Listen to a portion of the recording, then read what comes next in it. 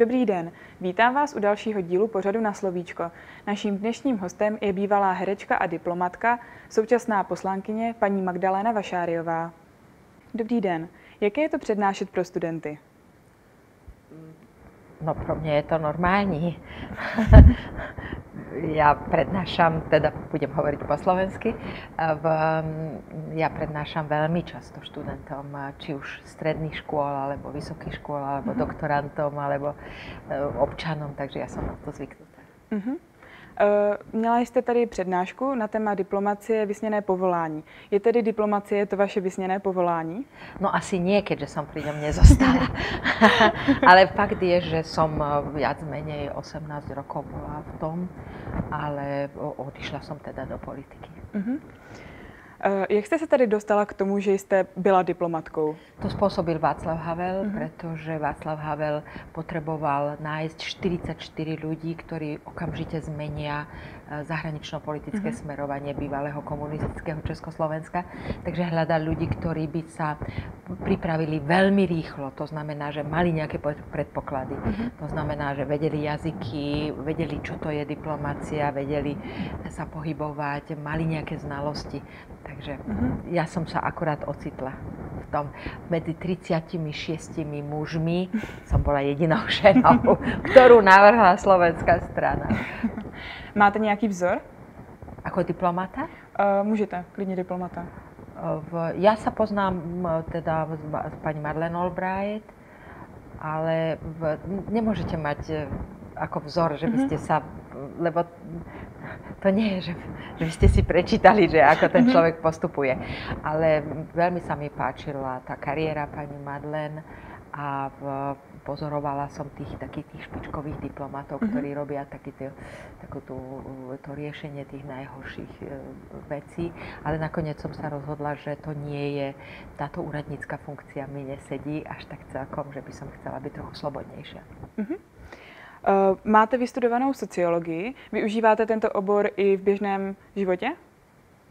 Myslíte diplomatickom, či som ho využívala? Mm, klidne i v diplomatickém normálne. Ja sa, ja, sa pri, ja sa pristihujem, že aj keď niečo píšem, alebo aj keď takto prednášam a tak ďalej, tak ten background, ten sociologický background tam zatiaľ, mm-hmm. za tým stále je. Pretože samozrejme ja sa nemôžem pasovať za nejakú veľkú sociologičku, ale e, stále sledujem určité veci, ktoré sa dejú v sociológii, takže určite to na mňa má nejaký vplyv. Uh-huh. Um, máte i mnoho mimovládních aktivit a mezi ně patří například organizace Via Cultura. Můžete nás s ní nějak seznámit? Ja som e, ja som založila niekoľko mimovládnych mm-hmm. organizácií. V roku 1993, keď som sa vrátila z Viedne po rozpade Československa, som založila veľmi úspešnú dodnes a, viedla som ju 7 rokov Slovenskú spoločnosť pre zahraničnú politiku. To bol prvý think tank o zahraničnej politike vôbec na Slovensku. Potom v roku 98 som založila Občianske oko, čo bola taká tá, také tie watch election watch, watcher je, to znamená tí, ktorí chodia a kontrolujú voľby. A, v, a pred, v roku 2007 som založila Via Kultúru, ako organizáciu, ktorá, ktoré vnútri v nej vznikol Inštitút pre kultúrnu politiku, vôbec historicky prvý think tank, ktorý sa bude zaoberať kultúrnou politikou. Pretože keď som vstúpila do politiky, tak okrem tej zahraničnej politiky som si vybudovala druhý pilier, lebo to musíte mať v politike, nemôžete mať len jeden. A to je, tým je vlastne kultúrna politika a mediálna politika. Uh-huh. Jste také spisovatelkou. Kde čerpáte inspiraci pro psaní? No, veď ja stretnem každý deň najmenej 100 nových ľudí, takže inšpiráciu mám každý deň. A e, co ráda děláte ve volném čase?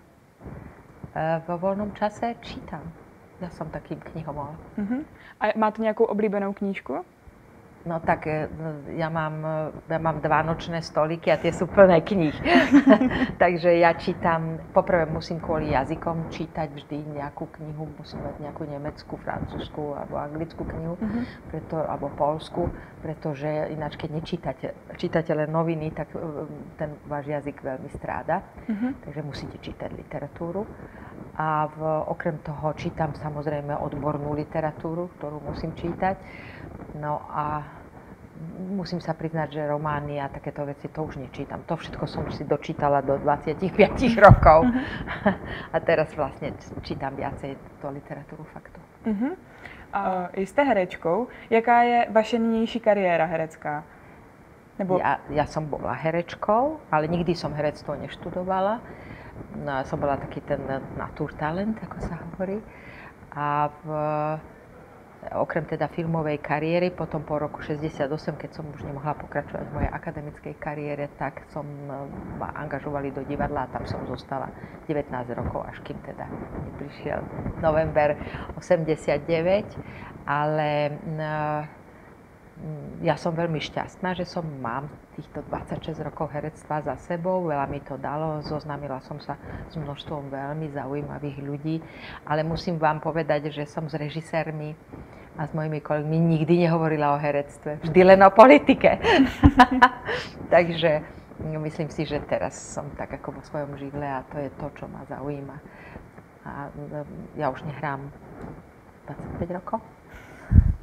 Ale som rada, že vlastne tie veci, ktoré som urobila dodnes, niektoré sú také populárne a uh-huh. takže ľudia ma poz, poznajú a hovoria, a ona bola herečka, alebo je herečkou, uh-huh. lebo nevnímajú tých 25 rokov, čo nie som.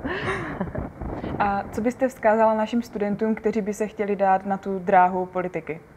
Politiky? No tak um, poprvé choďte voliť, pretože keď necháte staré panie rozhodovať o vašej budúcnosti, tak prosím vás, idete voliť. To je moje absolútní první, protože jinak necháte staré lidi rozhodovat o vaší budoucnosti. A každé volby předurčují víceméně na 10 let, kudy se ta, ta krajina bude ubírat. Takže to je jedno. A druhá věc, eh, teď než, než budete mít rodinu, než, než budete mít problémy v zaměstnání a tak dále. Teď máte ty nejotevřenější hlavy, teď musíte načíst co nejvíc. Pokud to teď neuděláte, už to nikdy nedoženete. A pak ještě učte se jazyky. Musíte jich vědět víc. Vždycky to tady bylo ve střední Evropě. Naši předkové vždy ovládali několik jazyků a to ještě nemáte latinu. Takže nestěžujte si a učte se. Tak já vám děkuji za rozhovor a přeju vám, nech se vám daří i do budoucna. Aha, já vám děkuji. Mějte se hezky.